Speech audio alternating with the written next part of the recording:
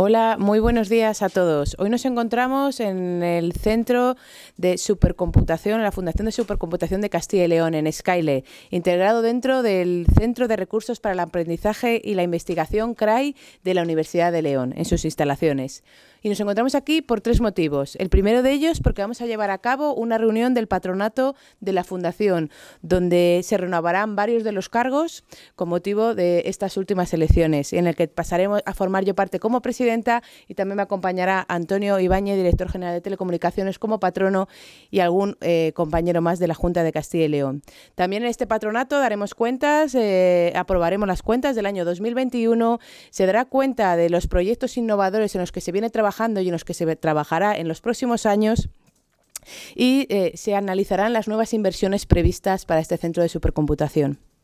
Por otro lado, inauguraremos hoy y pasaremos luego a visitar el nuevo centro de procesamiento de datos, la nueva CPD, para la cual la Junta de Castilla y León ha invertido 500.000 euros eh, y que va a dar respuesta a la creciente demanda y a, de servicios y nuevos proyectos de investigación que viene experimentando nuestra comunidad.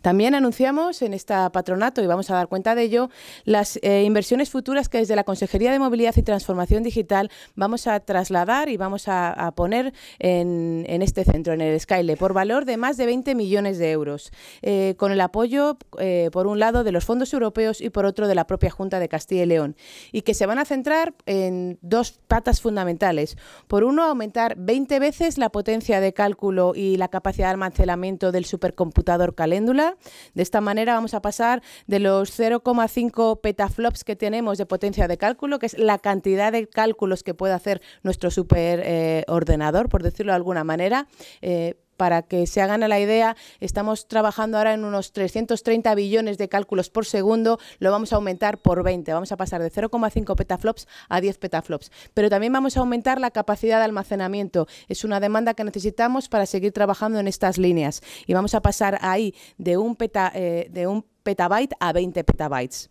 Eh, eso se va a unir a otras inversiones que vamos a realizar en, el super, eh, estas inversiones en el supercomputador Calendula se van a unir a otras eh, de dos programas innovadores que son el QKaile y el Quantumenia. El QKaile es un programa de comunicaciones cuánticas de Castilla y León que tiene como objeto mejorar la seguridad de las comunicaciones electrónicas y el Quantum Enia viene ligado más al desarrollo de la inteligencia artificial y lo que va a permitir es desarrollar un computador cuántico de altas prestaciones. Con todo ello, lo que queremos es poner en valor este centro de referencia en Castilla y León eh, y que viene apoyando y va a seguir apoyando al tejido empresarial para hacerlo más competitivo, a las universidades, como no puede ser de otra manera, a todas las líneas de investigación, ya sean públicas o privadas, y apostar eh, por por la inteligencia artificial, por los centros de supercomputación y por las nuevas tecnologías para convertir a Castilla y León en una región mucho más competitiva. Muchas gracias.